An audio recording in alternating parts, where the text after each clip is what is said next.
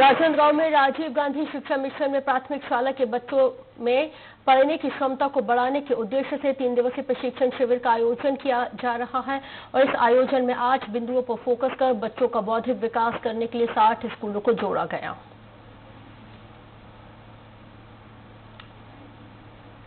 जो room period में जो पुस्तकालय मिली है, वो भाषा शिक्षण के लिए और बेहतर ही है। क्योंकि भाषा बच्चे को पढ़ने का इसमें अलग रहता है, एक बहुत सुंदर सुंदर चित्र रहता है पुस्तक देखते हैं यहाँ उसकी पढ़ने की जो क्षमता है वो बढ़ते जाती है। और वही है सर कि भाषा शिक्षण में सब ज़्यादा से ज़्यादा पढ़े तो वो बेहतर है, और एक अच्छी शिक्षण हमारे रूम टू रीड के राजनांदगांव ज़िले की राजनांदगांव ब्लॉक के जो सिक्सटी स्कूल है, वो स्पेशली चयनित है, उसके पश्चात पूरे विकास खंडों में इसका इम्प्लीमेंटेशन हो रहा है। रूम टू रीड की सहायता से हमारे बच्चे, हमारे स्कूल को बहुत अधिक सफलता मिली है।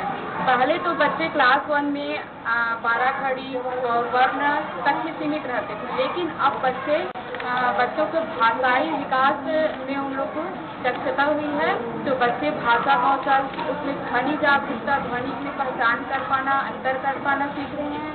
जो आठों आयाम है कक्षा एक और दो के बच्चों के साथ निर्धारित एक घंटे के समय अंतराल में शिक्षक करते हैं। तो ये सारे आयामों पर कैसे काम किया जाता है इन्हीं सभी बातों पर यहाँ पे शिक्षकों को प्रशिक्षित किया जा रहा है। और यहाँ से शिक्षण प्राप्त करने के बाद में ये सारे शिक्षक अपनी अपनी कक्षाओं में जाने के बाद इन्हीं सारी आयामों पर काम करते हुए कक्षा एक और दो के शिक्षकों के साथ, बच्चों के साथ काम करेंगे।